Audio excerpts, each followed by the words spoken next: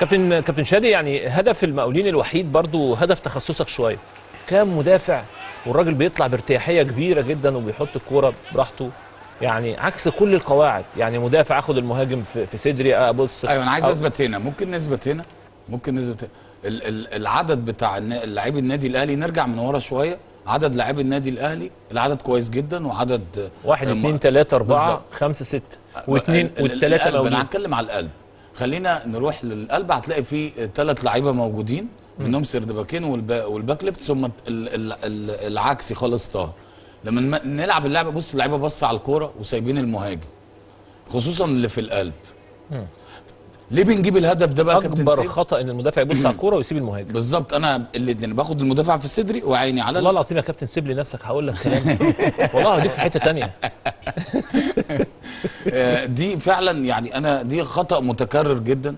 آه. ومن الأخطاء اللي ساعات النادي الأهلي بيدخل فرق معاه في المباراة. يعني أنت تدخل الشوط ال- الأولاني متقدم 2-0 وممكن تدور على الثالث وت- وت- وتعمل التبديلات اللي تدي فرص للعيبة وتريح اللعيبة.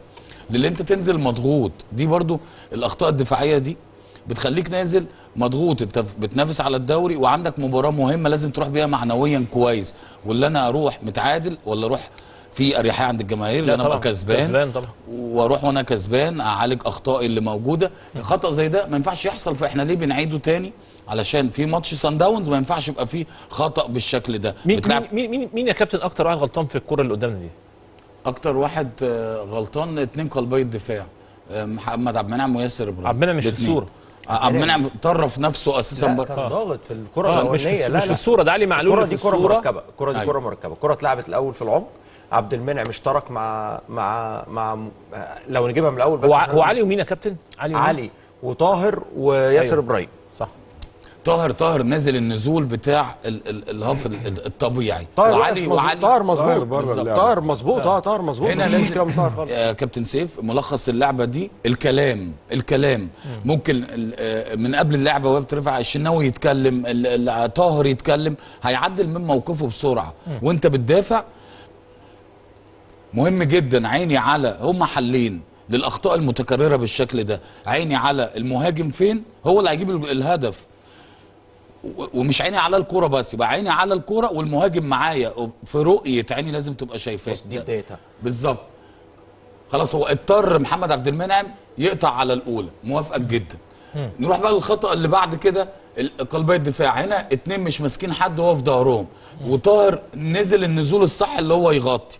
فهنا عيني على الكرة بس وأنا مش شايف ال- ال- المهاجم فين. فلازم من الأول الكلام. كرة هل هل القدم الشناوي كان عنده حلول في الكورة دي؟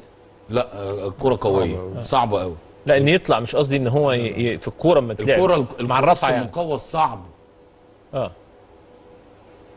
كان ممكن في حالة واحدة. لو هو متوقع واخد خطوتين لقدام بس مفيش حارس مرمى بيعمل كده. تمام. كان ممكن. لو هو متوقع من الأول وبيبقى فيها ريسك.